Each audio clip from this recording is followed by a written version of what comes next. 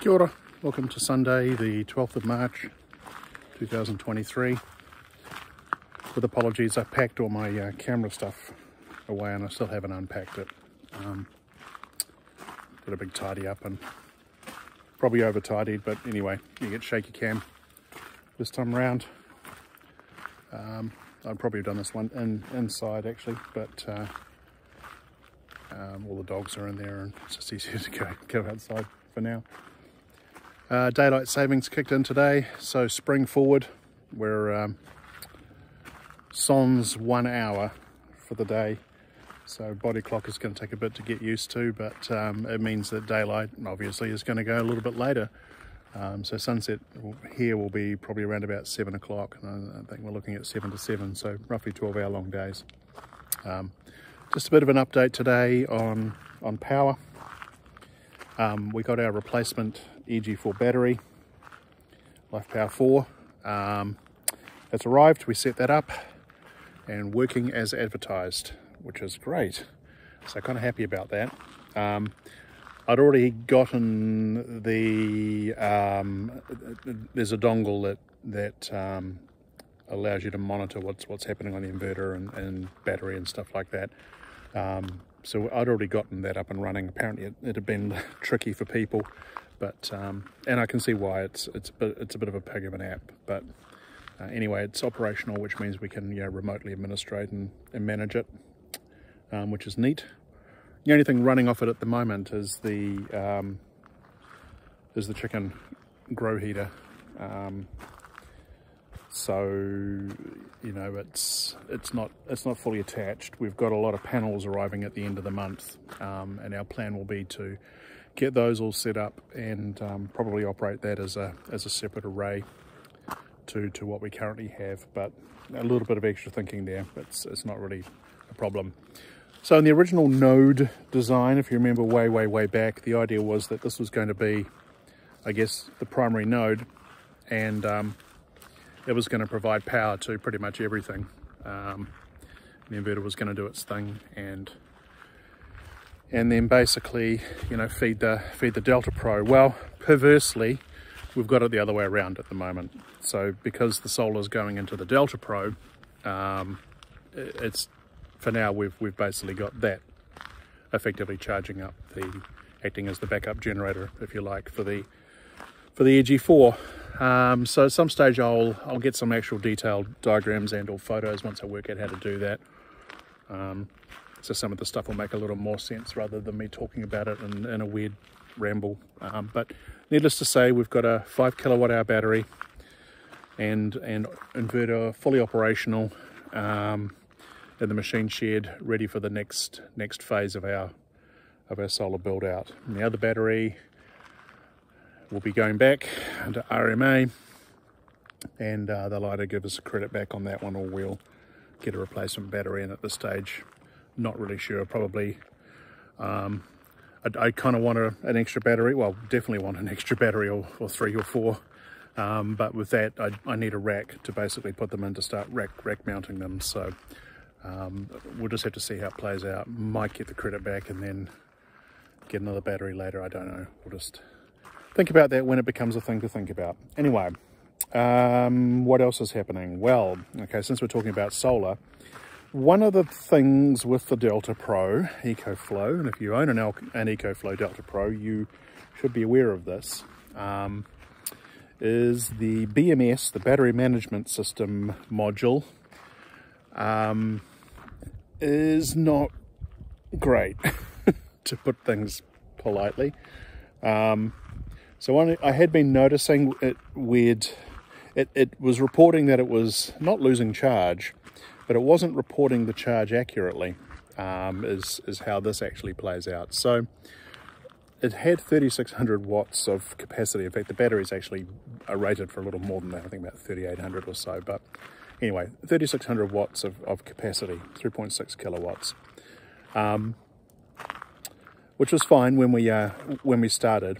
Um, and um, it's not in the manuals, of course. It's not anywhere in the frequently asked questions and all that kind of stuff. You kind of got to poke around the internet and see how people have actually dealt with this. So, long story short, you, you do need to do a full, you know, 100 to, to nothing um, power cycle on the on the EcoFlow. Otherwise, it the BMS loses track of accurately how much charge it actually has. Um, so I've been kind of half mathing it, but we've been getting solar in and we've, we haven't really had an issue with, with, with power. Um, but the proof was in the pudding. I, I, I ran this thing down to zero and it still kept supplying power and it kept going and going and going. Um, and it turns out that in actual fact, it's only been reporting about two thirds of the of the battery capacity. Um, that's how bad it, it had actually gotten. So we've actually been kind of operating within the within the apps parameters, and really only been using two thirds of, of our battery, um, which you know goes without saying that you know we really haven't had too many problems. Uh, in fact, no uh, no issues at all, but have been operating at diminished capacity, um, probably a bit like my my general mental intellect, always operating at diminished capacity. Um, I can't attribute that to alcohol anymore. But the um, anyway, long story short, um, we've done some resets on the BMS, and that's a long and painful process because you need to bring the battery up to 100% and you need to bring it all the way down again. But it kind of worked out because we had the new EG4 and it, it slurps, you know, quite a bit of quite a bit of power. So um, the generator has been unfortunately working a little extra extra overtime because cloudy weather and solar is not really going to do it in a in a short period of time.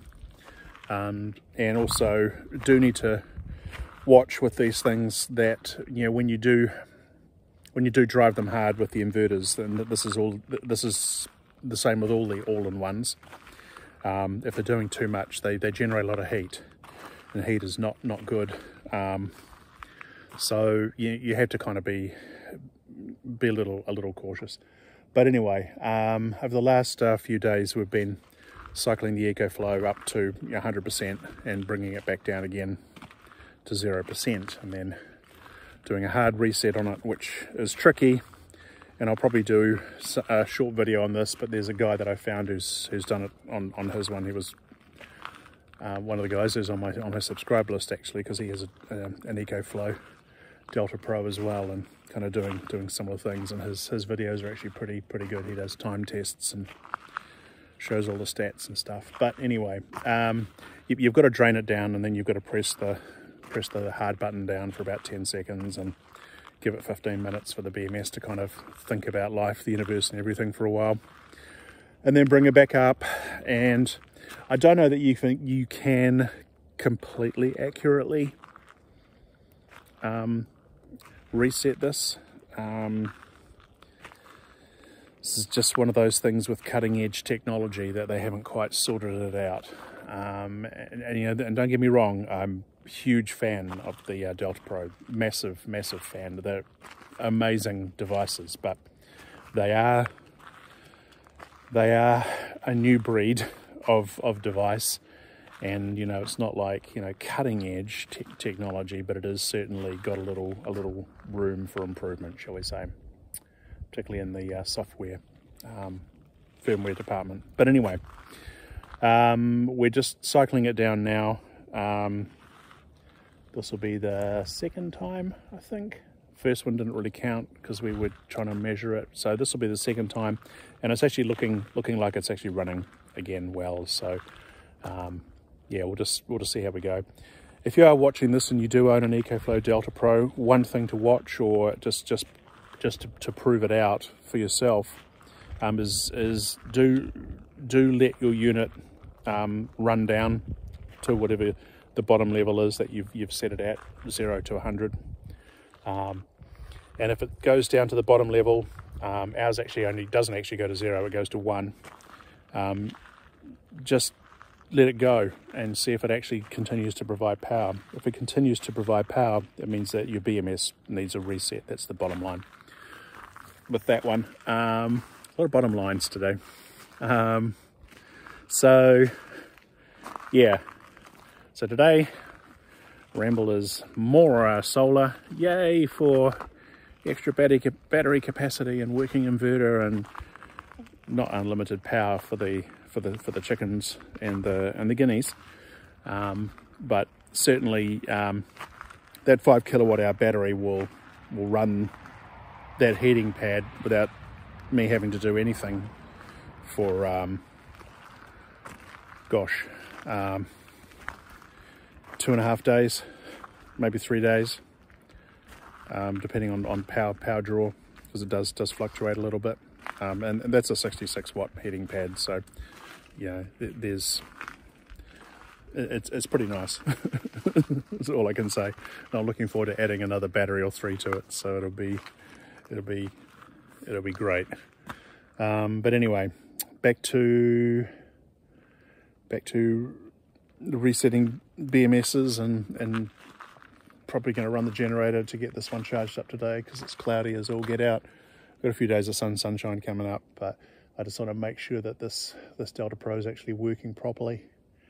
And um, yeah hope you all have a great Sunday wherever you may be. May have already been but it is what it is. Take care. Chat again soon. Bye bye